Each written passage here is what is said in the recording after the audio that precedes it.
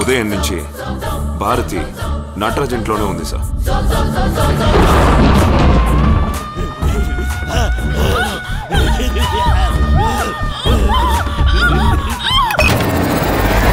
అమ్మాయి ఎక్కడుందో ఏమైనా తెలిసిందా? నాతో వాడు మాట్లాడిన మొదటి మాట అదే. అది నా ముందుండాలి. మీరేం చేస్తారో నాకు తెలీదు. Go get her